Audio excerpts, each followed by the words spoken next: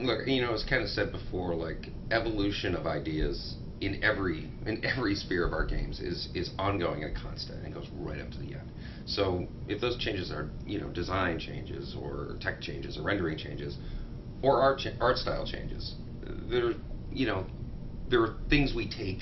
They're, they're blows we take as we Yeah. as as we go basically. And no, I, I don't feel particularly fixed. One, you know, games have multiple levels, so there's you know the the look is gonna is gonna vary from a level to level anyway. Um, but frankly, I'm really excited about what we put out in the demo. And actually, the three years that you're talking about was was getting to that point. Yeah.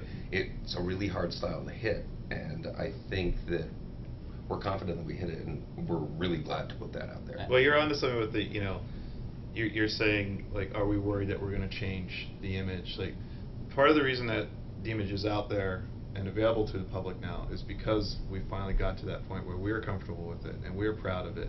And it, it was a long road to get to that point where we saw that, like Ken said, it was the key image of her reaching up to him and. and For us, it was seeing that gazebo in the sunlight. Yeah, You know, it's- you locked it at this one thing, and usually, sometimes it's just a handful of assets that you didn't think were that important, like the hydrangea blossoms and, you know, the American flag. And this is all coming together, as the narrative's coming together. And I think you, you know when something's actually working, when the entire team has this sort of eureka moment. You're like, oh, this is it. And you go confidently, confidently forward from there because you realize you've hit it, and you and and in some ways the rest of the game sort of just plays out in front of your your head. And this is after this can be after months and months of being sort of gridlocked on ideas.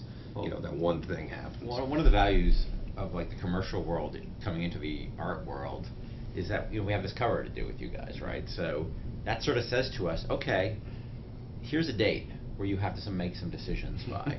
and because as a team, we're very comfortable like throwing work out, so we'll. I mean, we just throw out stuff all the time. We just constantly throw stuff out, and that's some, you know, I think that's that there's a certain kind of personality that has to that to work here to be able to understand that you'll probably throw out a game's worth of stuff or two games worth of stuff while you're working on, on a game.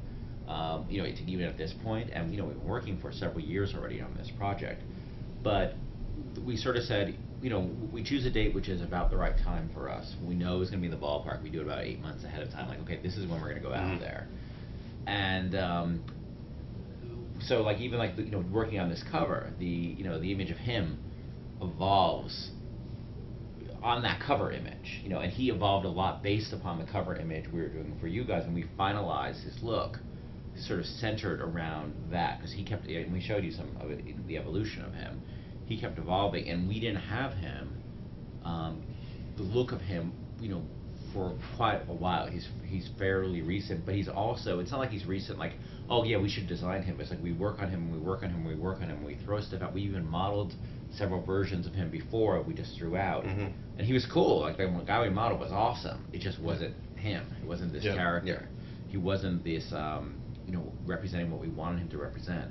But so so when you guys come, you know, you're the first one really to see it.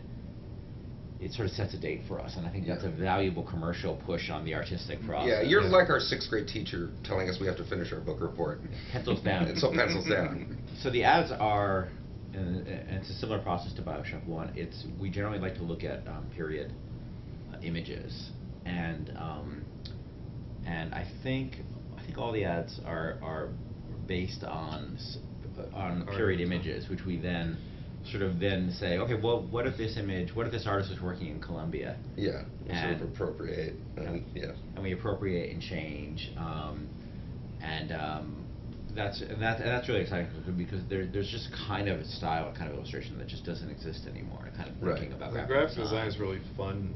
If you look at it back then, it is text heavy, but it, there's still this kind of whimsy of the designers still trying to figure out what they're doing and how to design a page, and kind of has that weird innocence to it, even if it's like an alcohol or cocaine drops or things like that, you know, which they had.